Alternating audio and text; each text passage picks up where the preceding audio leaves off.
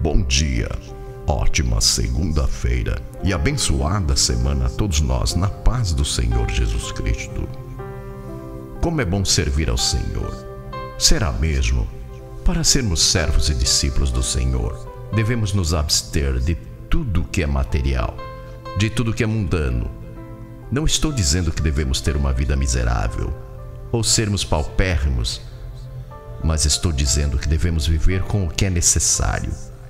Pois os verdadeiros discípulos do Senhor não buscavam recompensas aqui na vida terrena, mas sim na vida eterna.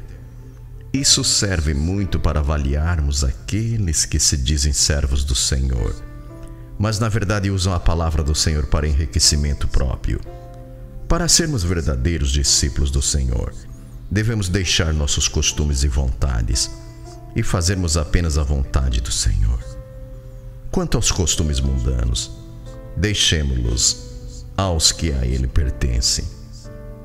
Deus no comando, permanente e eternamente. Amém. Abraços.